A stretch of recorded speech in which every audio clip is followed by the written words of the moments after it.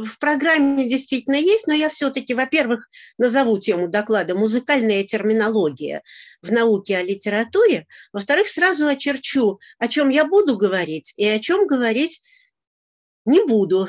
Э, значит, прежде всего, это э, цель доклада – наметить основные вехи истории вторжения музыковедческих терминов в литературную науку на материале русского литературоведения. Другие традиции я затрагивать не буду, подозреваю, что там все по-другому. И о чем в докладе не будет идти речь? О попытках приложения музыкальных форм к словесным текстам в отдельных статьях. То есть, э, когда это не становится литературоведческим термином, а просто берется автоматически некий, ну, скажем, некая жанровая структура и делается попытка именно эту жанровую структуру приложить к конкретному тексту. Пример, скажем, когда Э, Дмитрий Дмитриевич Шостакович сказал, что он э, видит э, черного монаха как сонатное аллегро, и как Николай Фортунатов после этого человек с музыкальным образованием просто попытался прочитать черного монаха через форму сонатного аллегро, в общем, даже не оговариваясь, а что является аналогом, скажем, темы в музыке, темой в, э, в литературном тексте. В общем, вот такого рода вещи я вообще затрагивать не буду. Я буду говорить только о появлении в науке э, устоявшихся понятий, которые попали э, в литературоведческие словари, начиная со словаря древней и новой поэзии Остолопова 20, 1821 года и заканчивая справочником под редакцией Натана Давидовича Тамарченко «Поэтика. Словарь актуальных терминов и понятий». Итак, а, анализ словника словаря Остолопова показывает, что музыкальных терминов там ничтожно мало. Я их все перечислю. Амебейская композиция, именно амебейская, мы сейчас говорим амебейная, ария, кантата, песня, романс, опера. Есть еще ронда. Но это, э, этот термин используется, описывается как устоявшаяся строфическая форма, а вовсе не как э, музыкальный термин. А ронда в музыке там вообще даже речи не идет. Опера и ария в словаре Столопова описаны как феномены музыкального, а не словесного искусства. Статьи «Песня» и «Романс» касаются только тематики, говорится, любовная тематика. Вообще должна сказать, что в последнее время я к этим двум формам вернулась, с ними так сложно, несмотря на их простоту. Иными словами, в первый русский словарь поэтики попали только термины, обозначающие словесно-музыкальные жанры, причем музыкальные аспекты в словарных статьях практически отсутствуют. Скорее всего, они попали в словарь потому, что в реальной поэтической практике было немало стихотворений, где, например, песня или романс играли роль заглавия и указывали на подразумеваемую музыку. В течение ста лет ничего существенного э, в справочниках не появилось. А вот в 20 веке, до поэтического словаря Квитковского, до его первого издания в 26 году, э, вот в 20 веке появляются работы, в которых вводятся э, музыкальные термины уже как и, и делаются попытки как-то их описать в приложении э, к словесному тексту, вот в словаре литературных терминов 26 года расширилась статья «Песня», но только за счет дифференциации разновидностей жанра. Историческая песня, свадебная песня и так далее. И только поэтический словарь Квитковского значительно увеличивает объем музыкальной терминологии а, в литературоведческом обиходе за счет понятий, предложенных теоретиками стиха на рубеже 19-20 веков и в 20-е годы. В словарь Квитковского вошли небольшие статьи «Мелодика стиха», все помним, что это Эхенбаум э, предпринял э, такое описание мелодики стиха, инструментовка, интонация, но наиболее радикально у Квитковского изменилась система описания русского стихосложения.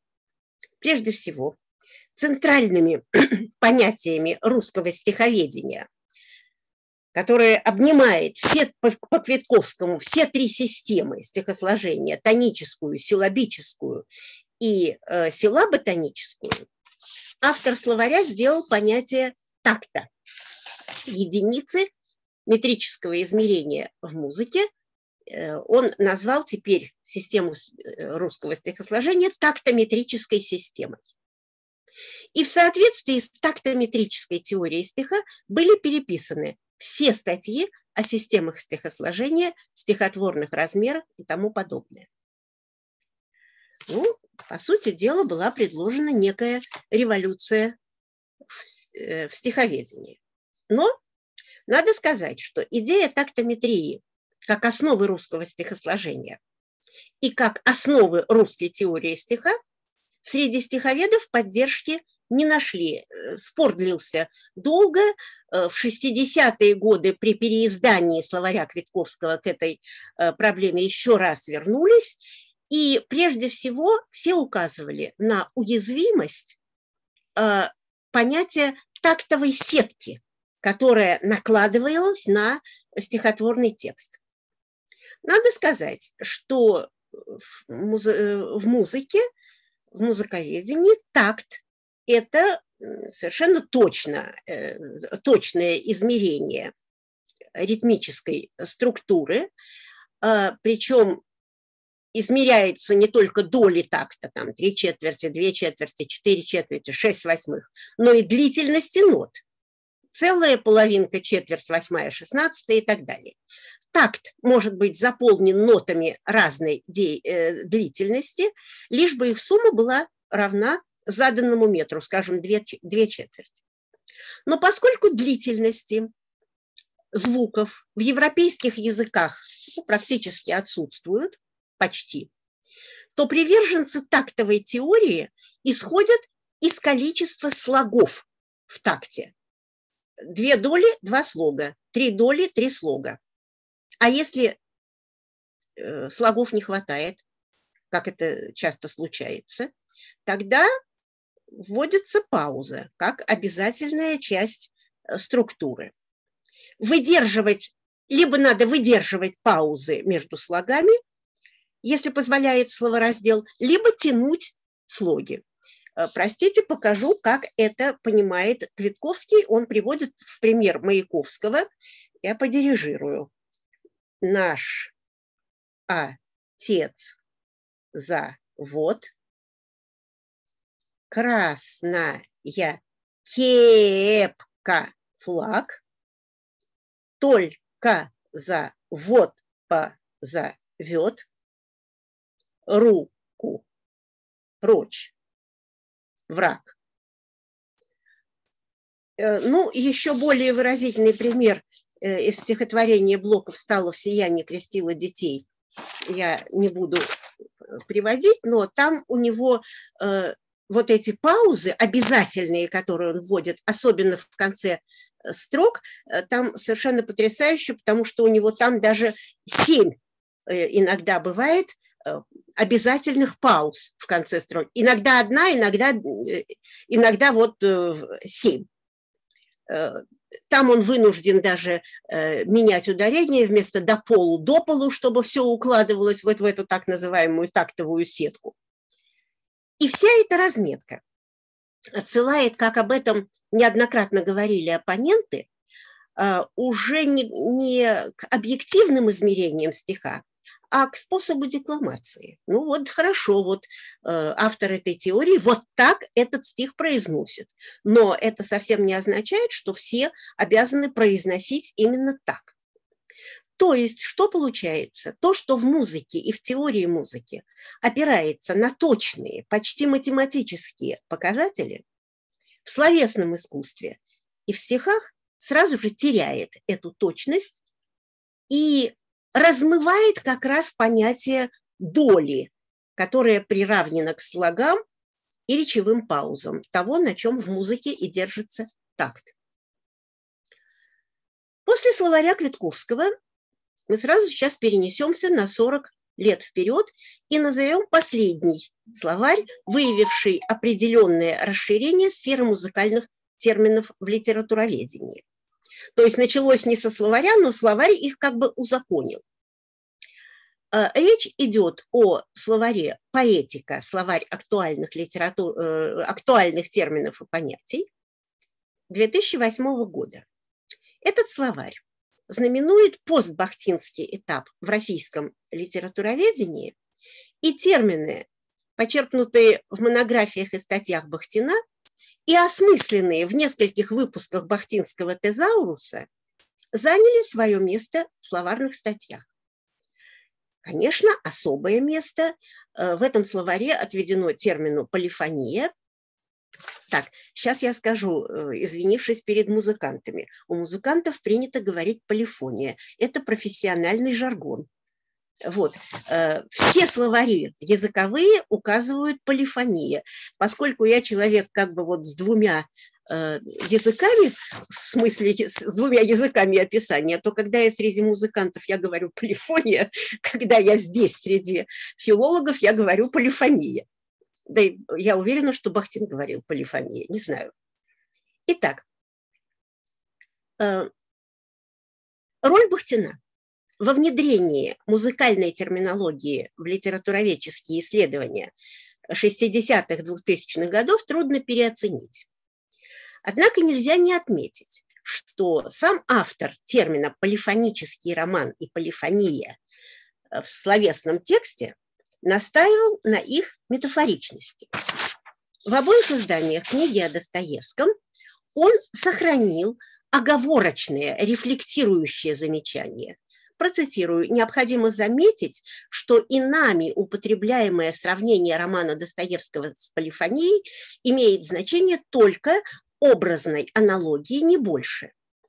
Образ полифонии и контрапункта указывает, вот обращаю внимание, это очень не случайно, что тут э, музыковеды разведут руками, потому что у Бахтина мы очень часто встречаемся с этим сочетанием полифония и контрапункт. Любой музыковед скажет, да это же синонимы, почему и? Я потом э, этим занялась, и, э, если захотите знать, можете мне потом вопрос задать, я скажу, почему он их э, не считает, уже в собственном словоупотреблении не считает синонимами. Итак, образ полифонии и контрапункта указывает лишь на те новые проблемы, которые встают, когда построение романа выходит за пределы обычного монологического единства, подобно тому, как в музыке новые проблемы встали при выходе за пределы одного голоса. Но материалы музыки и романа слишком различны, чтобы могла быть речь о чем-то большем, чем образная аналогия, чем простая метафора. Но эту метафору мы превращаем в термин полифонический роман, так как не находим более подходящего обозначения. Не следует только забывать о метафорическом происхождении этого термина. То есть он начал с того, что это метафора, и закончил тем, что это метафора. Ну, я э, должна сказать, что я провела э, анализ семантического гнезда полифония э, в работах Бахтина и ну, пришла к выводу, что одним из важнейших элементов семантического гнезда полифонии является, как следует ожидать, понятие «голос». В проблемах творчества Достоевского Бахтин не дает специального определения этого понятия, но связывает с ним целую цепочку других понятий. Сознание или сознание с их мирами, мир, кругозор, центр, индивидуальная воля, точка зрения, слово. Когда он работал над вторым изданием. В плане переработки книги о Достоевском он поставил задачу определения голоса, где термин «голос», вот он там перечисляет, что должно быть в этом термине, в этом определении, он эм, у него это, этот термин проявляет и прямое, и переносное значение. Цитирую опять, сюда входят и высота, и диапазон, и тембр, и эстетическая категория лирический, драматический. Сюда входят и мировоззрение, и судьба человека. Человек, как целостный голос, вступает в диалог. Он участвует в нем не только своими мыслями, но и своей судьбой, всей своей индивидуальности. Ну вот, казалось бы, завершение этой цитаты уводит понятие голоса из музыкальной сферы. Но я была очень рада, обнаружив, что соотнесение голоса в полифонической музыке с представлением о человеческой личности, смысле и воплощенной идеи оказывается очень хорошо осознавалось старыми мастерами полифонии. Э, так, ученик Баха, Иоганн Николаус Форкель, э, вспоминал, он объяснял своим ученикам, каждое произведение – это беседа разных голосов, которые представляют собой различные индивидуальности. Если ученики верно чувствовали индивидуальность голосов и хорошо выражали ее, им разрешалась полная свобода. Бах позволял тогда использовать любые интервалы, самые смелые обороты, мелодии и гармонии, все, что ученики желали и могли. Но только в том случае, если в этом был смысл, если это служило для выражения какой-либо идеи. Очевидно, что Бахтин сознавал необходимость строгого определения термина «голос» и даже выстраивал структуру этого определения, двигаясь от прямых значений к переносным. А, вот начинает с характеристик уместных в музыке, высота, тембр, диапазон, лирический и драматический из области музыки, но и театра, лирический драматический тенор, лирическое драматическое сопрано. Одновременно к этим характеристикам подключаются значения мировоззрение и судьба, что сразу меняет и собственно музыкальную семантику и переводит ее в другой переносный смысловой план. Наконец устанавливается первое синонимическое соответствие «человек как целостный голос». Однако ни в одной своей работе Бахтин так и не дал определения голоса, в котором были бы логически сведены все намеченные им семантические уровни этого понятия, а главное, где бы были набра, названы соответствия между, например, так, э, таким термином, как тембр, в музыке. Музыкант, конечно, поймет, что такое тембр, но что такое тембр в поэтике э, словесного искусства, вот это э, иначе, чем метафорически, конечно, сделать нельзя. Ну, не только тембр, высота, скажем, а диапазон. И надо прямо сказать, что как раз анализ словоупотребления в работах Бахтина показывает, что ни высота, ни тембр, ни диапазон у него, вообще говоря, в его словоупотреблении при конкретных описаниях э, бахтинской поэтики ну, нет их там. Стало быть, гораздо чаще иногда он использует э, музыкальные понятия тона и обертона, но, собственно, это и все. Надо сказать, что Бахтин как это очевидно из его определений полифонии и голоса в литературной теории, опирается на два важнейших для него источника. Первый – это работы Вячеслава Иванова, прежде всего статья «Две стихии в современном символизме», в которой унисон, полифония и гомофония – три последовательных этапа развития культуры, три типа культурного мышления европейского человечества. Господство унисона по Иванову – эпоха ознаменовательная, где каждый участник, каждый голос – лишь часть целого, единодушно признающего общезначимую реальность вне индивидуального и выше индивидуального. Полярная противоположность – эпоха преобразовательная, которую он соотносит с романтизмом, то есть эпоха индивидуального произвола, индивидуальной фантазии и господства гомофонии в музыке, которую Иванов называет музыкальным монологом, замкнувшим на себе все многоголосие мировой гармонии. Эпоха, в которой ознаменовательное и преобразовательное начало находятся в равновесии, переход по Бахтину – это переход от Средневековья к Возрождению. Соответствуют этапу господства полифонии в истории музыки. Второй источник для Бахтина – теория музыки как таковая.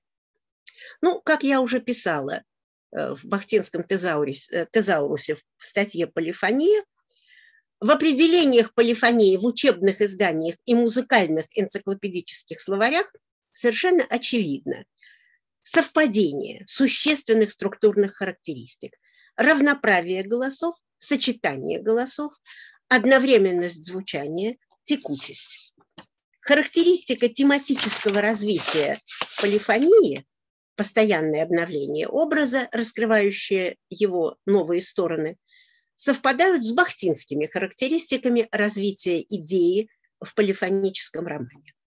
Голос в полифоническом музыкальном произведении при всей своей самостоятельности и равноправии, тем не менее развивается в постоянном взаимодействии с другими голосами как по вертикали, так и по горизонтали. Вот тут надо назвать ряд категорий музыкальной полифонической теории, которые крайне существенны для Бахтина, но почти никогда не связываются непосредственно с его идеей полифонии ни одним интерпретатором. Это э, не только голос, но и ответ. Ответ – это, как эм, знают музыканты, это э, второе проведение темы, скажем, в фуге в несколько ином виде. Вот тема, дальше второе ее проведение в другом голосе – это ответ или тональный ответ, акцент, двуголосие или скрытое двуголосие, расщепление голоса, соединение, сочетание. Каждая из этих категорий может быть истолкована двояко, как музыкальный термин, входящий в любой учебник полифонии, и как категория речевой деятельности с не меньшим правом. Добавлю в заключение от себя, что, как показывает анализ бахтинских текстов, метафоричность все же не означает неточности и необязательности. Система повторяющихся значений в работах Бахтина говорит о глубокой продуманности проведенной Бахтиным аналогии.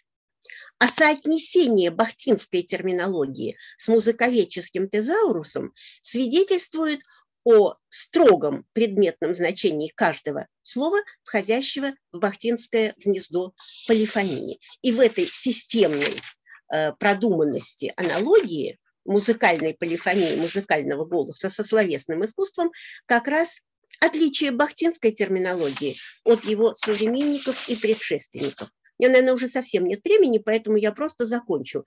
Перенесение музыкальных терминов из музыковедения в область литературоведения постоянно воспроизводит один и тот же парадокс. Музыковедение – наука точная.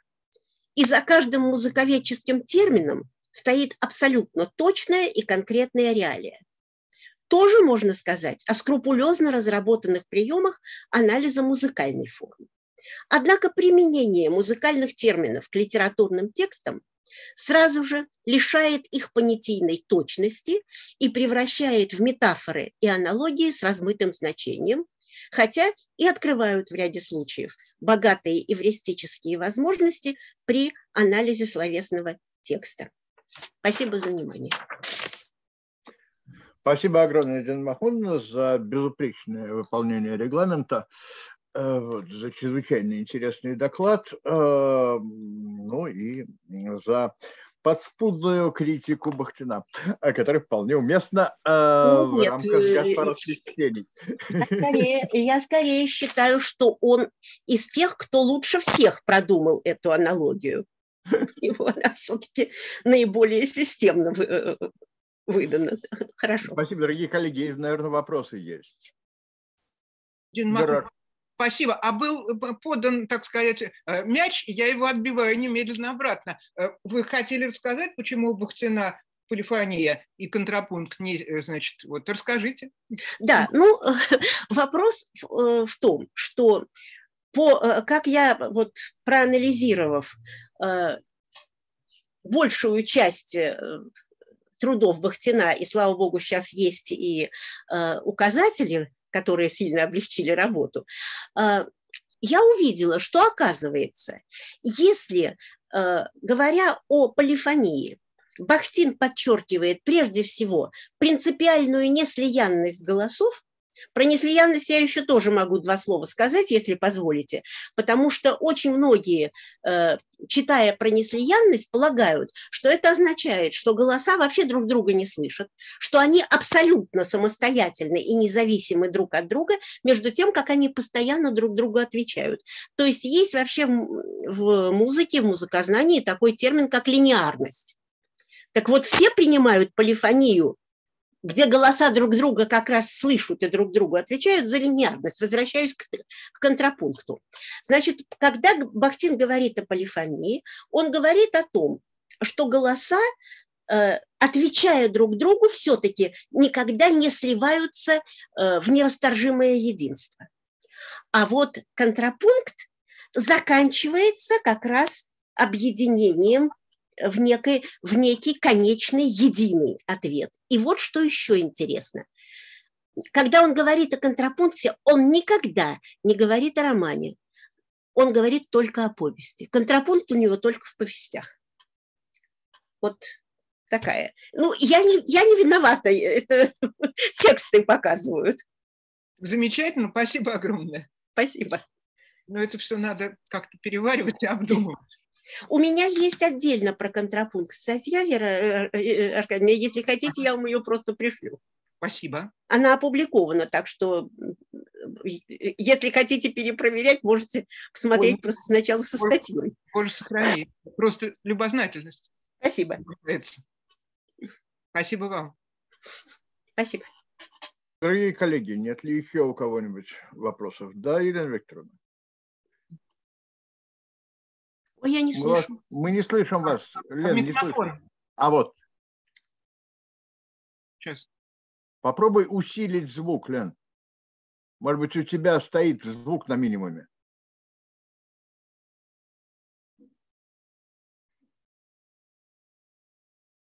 А так? А, отлично. Вот теперь прекрасно. прекрасно. Извините, у меня тут какие-то... У меня малюсенькая, во-первых, спасибо огромное за интереснейший доклад. Я просто хочу сказать, что при анализе, э, ну, в частности, романа Флабера «Госпожа Бавари», во французской критике это просто общее место теперь. Полифония и контрапункт при анализе чужой речи. То есть при этом как бы вот такой точности в определениях, которые вы дали, которые мне лично очень интересны, у них нет. То есть они называют контрапунктом вот эти знаменитые сцены, mm когда, э, ну, скажем, вот эта сцена э, выставки сельскохозяйственной, когда идет один голос докладчика, а параллельно Рудольф соблазняет Эмму. И как это при этом замечательно совмещается, и какая получается там и сатира, и пародия, и так далее, и так далее. То есть термины работают на уровне просто учебном, я бы сказала. А вы не могли бы сказать, это после публикации бахтинских работ э, у французов появилось вот это? Э, Знаете, мне, мне немножко трудно это сказать, но я думаю, что да, конечно. Спасибо. Как бы Спасибо. термин полифонии пошел. Спасибо. Боюсь оттуда. Спасибо вам.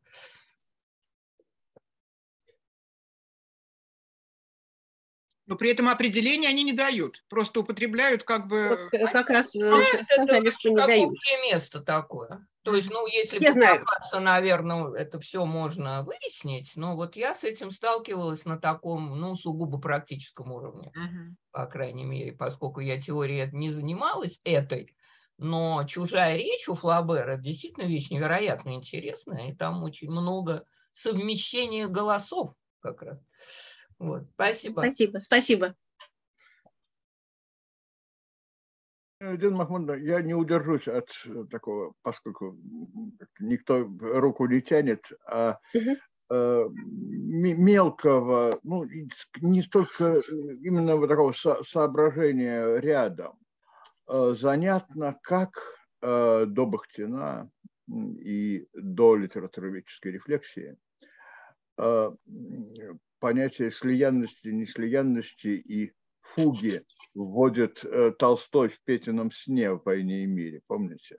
Помню, конечно. А вот я бы сказала, что мы тут, наверное, должны припомнить и, э, конечно, до Бахтинскую и вполне себе религиозно-философскую категорию нераздельность и неслиянность. Mm-hmm. Вот я бы сказала, что это вот, mm-hmm. может быть, и туда есть определенный mm-hmm. поворот. Очень интересно, спасибо. Mm-hmm. Хотя Бахтин ведь Толстому как раз э, отказывал э, в полифонизме э, именно потому, что у него все-таки в конце концов э, господствующий голос и побеждает некий. Ну, не, тут, не в этой сцене, тут, а в принципе. Тут, тут, тут уже трудно согласиться. Тут уже трудно вообще говорить. Я не... Потому что очевидно, угу. что у Толстого голосов много, и они никого не побеждают, а у Достоевского все побеждено одним голосом, но это уже мы да, это мы уже в другую область. В другую область, да. Так, коллеги, еще, наверное, совсем короткий вопрос, если у кого-то есть, э, может быть, кто-то задаст, и Махмудна ответит. А если нет, то спасибо. огромное спасибо, и тогда мы продолжаем. И я отключаю.